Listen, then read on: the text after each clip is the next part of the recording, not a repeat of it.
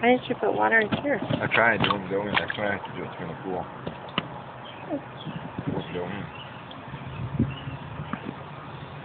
Oh, you have to do it under the sink, honey. I tried it under the sink. I had it going for uh, several minutes. It wouldn't go in. I think you need to fill it before you blow it up.